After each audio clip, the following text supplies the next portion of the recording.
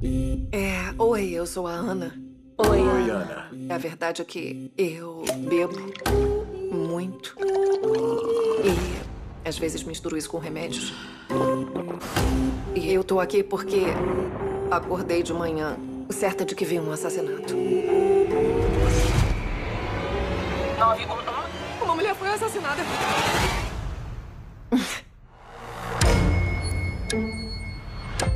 Eu vi. Disseram que você viu um assassinato. Ela é maluca. Eu não sou louca. Alguém tem que acreditar em mim. Ela tem um problema sério com bebida. Não. Tá.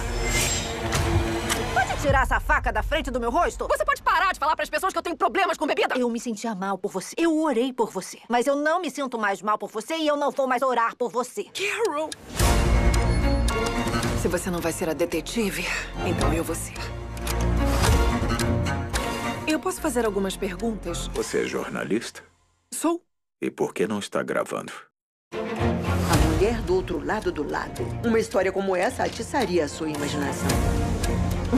Eu preciso ver a sua bolsa. Que porra é essa? Onde quer que você vá, as mulheres acabam mortas. O quê? Eu só quero que as coisas voltem ao normal. Eu aposto que vão produzir um dateline sobre isso. O que eles estão tramando? Não se importaria de ir até a delegacia responder algumas perguntas. Esse é o seu polegar esquerdo.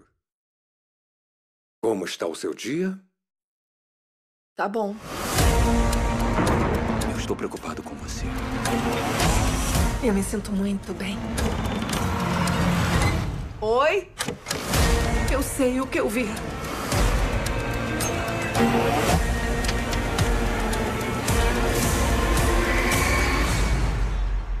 Ou eu não vi.